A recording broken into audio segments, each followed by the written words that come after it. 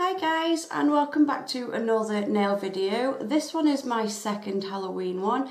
I will leave a link in the description box for the first Halloween video I did. So as always I'll go through the products I'm using first. I'm using Neo's Max Edition Acrylic Liquid, Clear, Natural Beige Shimmer Acrylic Powder, Pure Black, Cat's Eyes and Mirror Mirror. I'm using one of Sarah's glitters today. This one's called Bubbles. Unfortunately, she's not selling to overseas customers now, so these are only available to the girls who live in the UK. So I've just put the nails on and the ring finger is nice and pointed and the rest are in the coffin shape. So I'm just going to put this nail bed on three out of five of my nails and on the other two I'm just going to put some clear acrylic over the nail bed.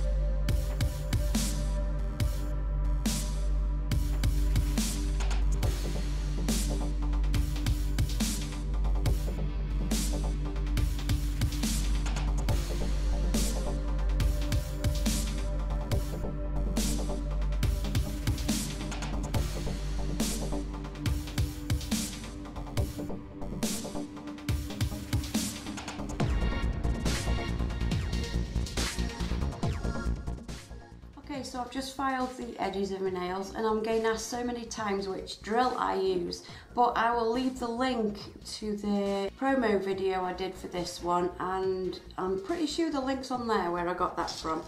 Really like this drill, it's so good. It did have a foot pedal with it, but I can't find it.